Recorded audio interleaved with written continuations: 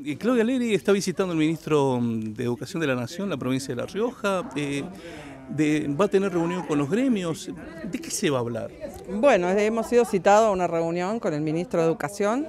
Eh, la idea es poder presentarle un poco las inquietudes y la necesidad de tener un panorama un poquito más claro hacia el comienzo de clases en el mes de marzo, de tener en claro, bueno, ya lo venimos charlando con el Ministerio de Educación de, La Rioja, con el, con el ministro Ariel Martínez, eh, los protocolos para, para la vuelta a clase, bueno, tenemos que ver cómo están dadas las condiciones, si van a llegar las vacunas para la parte de educación también. O sea, son una, una serie de cuestiones que nosotros tenemos que tener certezas antes de ingresar a las aulas, sabiendo que las aulas es nuestro lugar de origen, ¿no? Es el lugar natural de un docente para dar clase. Eh, pero bueno, necesitamos certezas y tenemos que tener también los cuidados y los controles sanitarios.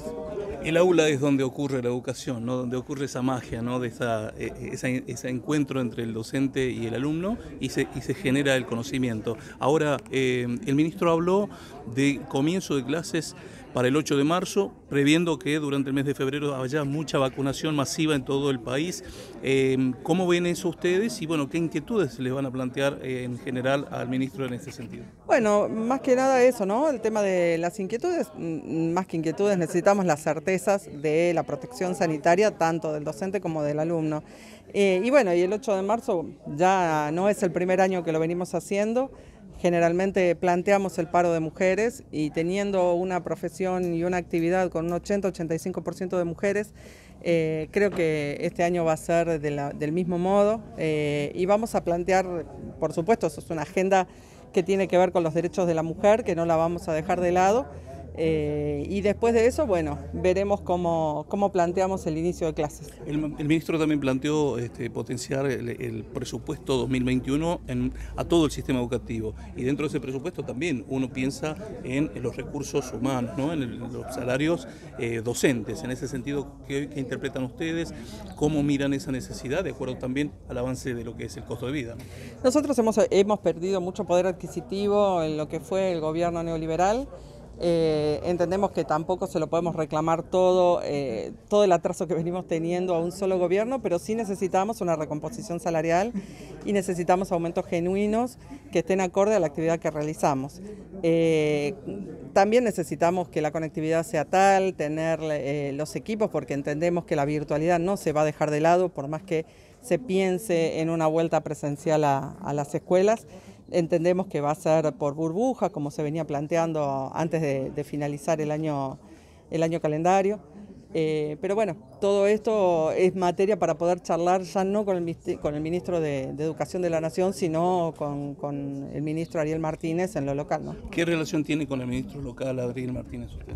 Siempre tuvimos muy, bueno, muy buen diálogo, seguimos insistiendo y esto sí es, una, es, es un, un pedido que vamos a hacer a la Nación, que faciliten y agilicen el tema de la apertura de paritarias, porque es fundamental poder hacer los acuerdos paritarios en el marco de, de la Convención Colectiva de Trabajo. ¿no? Entonces, digo, si nosotros tenemos esa posibilidad, ahí no van a quedar dudas que los acuerdos son, de, son acuerdos y no son decisiones unilaterales. Hoy hay un anuncio sobre conectividad para escuelas rurales que también prevé la entrega de computadores, equipos para los alumnos. Esto viene como para reforzar aquello que fue en aquel momento, ¿no? El conectar igualdad. ¿Qué opina de esto, de esta política a nivel nacional? Eh, es una buena política, es lo que nosotros venimos pidiendo y planteando, teniendo en cuenta nuevamente que se han desmantelado las fábricas del sur en la era Macri y en la era, ojalá no haya sido una era, ¿no?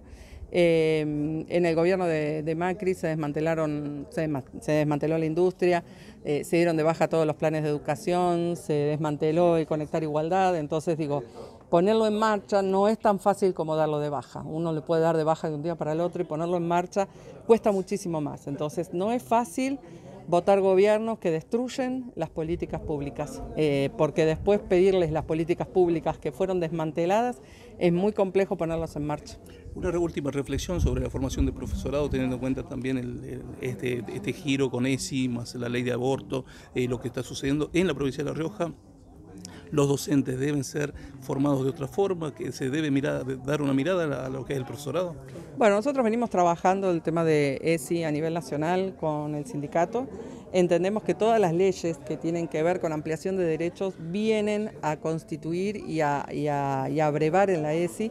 Sin ESI nosotros no podemos hablar ni de educación sexual, bueno, no podemos hablar ni de ley de, interrupción voluntaria del embarazo, no podemos hablar de matrimonio igualitario, no podemos hablar de identidad de género, porque todo eso está contenido en la ESI. Es necesario y es fundamental que el Ministerio se ponga de cabeza a exigir que la ESI se dé en las escuelas, en los profesorados, en las universidades y que sea transversal. No puede haber una sola escuela, ni en La Rioja ni en el país, que no esté aplicando la ley de educación sexual integral.